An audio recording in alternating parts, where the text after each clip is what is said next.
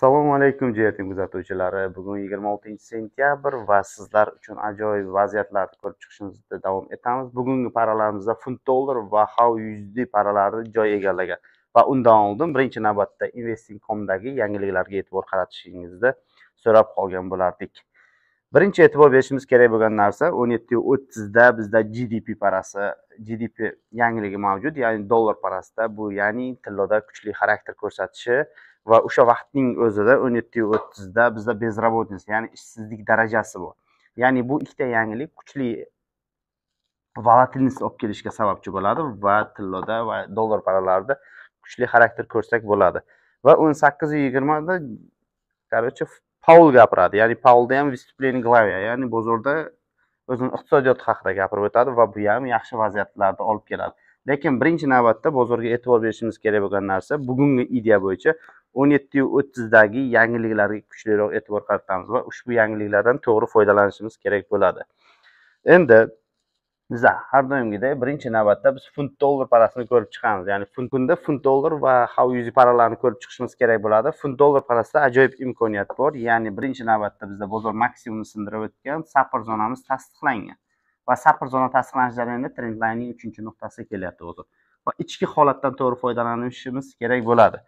Va bugungi holatda qaysi holatdan to'g'ri foydalansak bo'ladi degan holatda ichki time frame'ga o'tib olamiz bozorda. Ichki time frame'da ham bozorda ichki trend hosil qilgan ya'ni ichki trenddan ham to'g'ri foydalanishimiz kerak bo'ladi. Birinchi navbatda mana bu trendni bozorning ichki trendini bozor yorib o'tgan holatda lekin hali xarakter ko'rsatmadi. Ya'ni ichki xarakterni ko'rsatmaslik jarayonida biz shu xarakter ko'rsatmagan zonalardan kuchli xarakter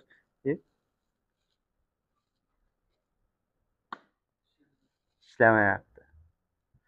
Ishlatamiz bizda trendimiz bor bu trendni yorib o'tgan ya'ni breakout qilganligi sababli shu zona bizda sell zona uchun bo'lib xizmat qilib beradi. Va ikkinchi zonamiz bizda mana bu likvidness qolib ketganligi sababli yuqoridagi rezistens zonani ham olib qo'yamiz. Ya'ni bugungi g'oya bo'yicha funt dollar parasida ajoyib sell ushlash imkoniyatimiz mavjud. Ya'ni birinchi zonamiz da ichki time frame'da bozor разворотный model beradigan bo'lsa va trend line yorib o'tguday bo'lsa va trend line davomida yana sel ishlashimiz mumkin. Birinchi holat. Agarda bu zonamiz o'zida разворот bermaydigan holat bo'ladigan bo'lsa trend lineimizni retesti va trend line retestini ichidagi holatda bizda rezistens zonada razvorotidan sel ishlashimiz mumkin bo'ladi. Birinchi birinchi zonamiz sel uchun ikkinchi zonamiz sel uchun. Va bizda shu holatlarni ko'rishimiz mumkin bo'ladi. E, endilikda hammaga qiziq bo'lgan how yuzi parasini ham ko'rib chiqamiz. Bu parasini masalan xohlovchilar skrinshot qilib qo'yishlaringiz mumkin o'zlaringiz uchun keyin tekshirib olishlaringiz uchun kerak bo'ladi. Ho'p how yuzi parasidan bugun nima kuzatiladi? Ya'ni bugungi kunda unutmaysizlar e, dollar paralarida kuchli yangiliklar mavjud. O'sha dollar parasida kuchli yangiliklardan to'g'ri foydalanishimiz kerak. Va ushbu imkoniyatni qo'ldan boy bermaslik kerak deb hisoblaymiz. Birinchi navbatda to'rt soatda time frame bozor nima qilib berdi? To'rt soatlik time frameda отработка qilinmagan haylar o'z joyida turibdi. Hali o'chirilmagan o'sha kechagi analizda hali o'z joyida turibdi. Birinchi отработка qilinmagan hay bor. Bu ikki ming besh yuz to'qson beshni beryapti. Bundan tashqari ikkinchi отработка qilinmagan hay bor. Keyin mana shuni o'zimiz uchun mana shuni belgilab qo'yamiz. Va ushbu zonalar bizda xarakter ko'rsatmagan rezistent zonalar hisoblanadi. Bu rezistent zonalar buzilganligi sababli sapr zonaga aylandi bu zonalar va hech bir time frameda bozorda idealniy holat ko'rmaydigan bo'lsangiz ichki time framega o'tishlaringizni maslahat beraman. Chunki bozorda holat shakllangandan keyin savdo qilinadi muhimi. Bizda kecha aytib o'tgandik kecha aytib o'tish jarayonimizda aytuvdikki kechagi minimum provoy bo'lgandan keyin bizda kuchli xarakter ko'rsatiladi degandik. Lekin e'tibor bergan bo'lsangiz просто minimumdagi likvidnostni yig'gan holatda bozor o'z yo'nalishini davom ettiryapti. Bu holatdan qanaqa foydalanamiz degan savol tug'iladi. Ajoyib imkoniyat bor bugungi kerak emasda aka.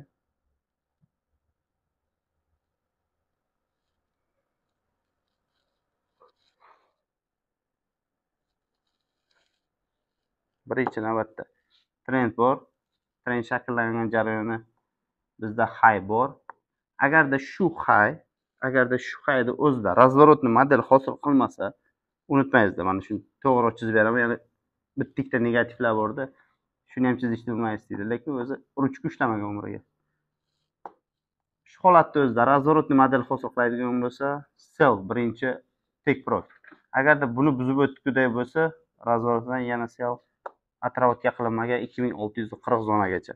Agarda bu zonadan sel ketishini qayerdan bilyapsiz deyishlaringiz mumkin. Agarda bu zona bizda trendline va sapr zona bo'lganligi e, zona bo'lganligi sababli kirilyapti. Agarda bu zonani tanasi bilan bo'lib proboy qilib o'tdi.